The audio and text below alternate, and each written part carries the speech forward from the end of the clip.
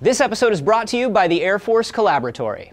GPS is important to everything in our lives. That is why we are totally replacing it. Wait, what?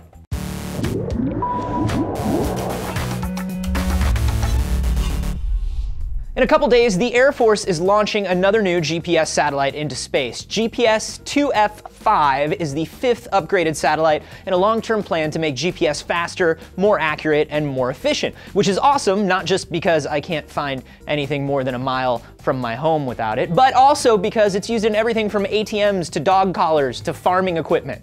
The first generation of the Global Positioning System was created by the Air Force in 1973 for doing complex things like finding lost soldiers and instantly figuring out the math required to launch a missile from a mobile platform. GPS, as you and I know it, started in 1989 with the launch of the first GPS-2 satellite. The new network was open completely to the public in the year 2000. The GPS network is made up of 24 operational satellites and some extras for backup.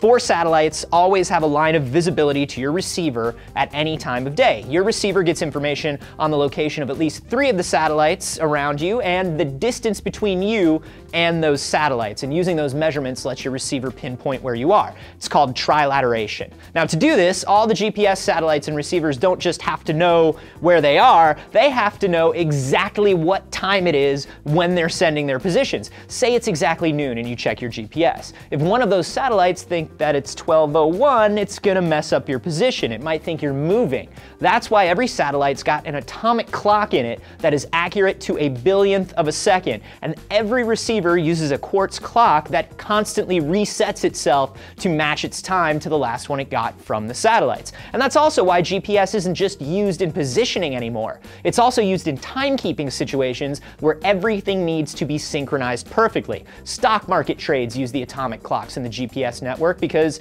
just a fraction of a second could change the ownership of billions of dollars. It's also used in ATMs. With more and more of our lives becoming dependent on GPS, it's not surprising that a massive upgrade is underway. Type 2F satellites like the one being launched in a few days are considered interim upgrades that have a 12-year lifespan, improved clocks, and a new type of signal for everyday use. And by 2020, we'll be using Type 3 satellites. They're gonna have newer clocks that are accurate to a fraction of a billionth of a second. Super important for military and financial uses. They will also have increased signal strength and accuracy accuracy. While GPS is accurate to about 20 feet, the new Type 3 network will be accurate to an arm's length.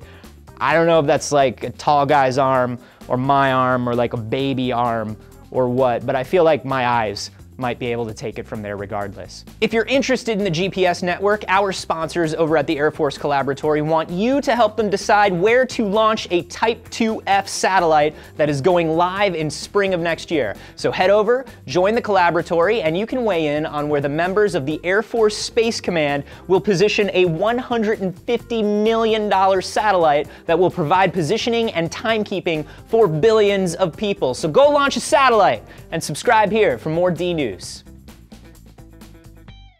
Visit the Air Force Collaboratory at airforce.com slash collaboratory. Work with real airmen to solve some of the Air Force's toughest science and technology challenges. Your idea could change everything.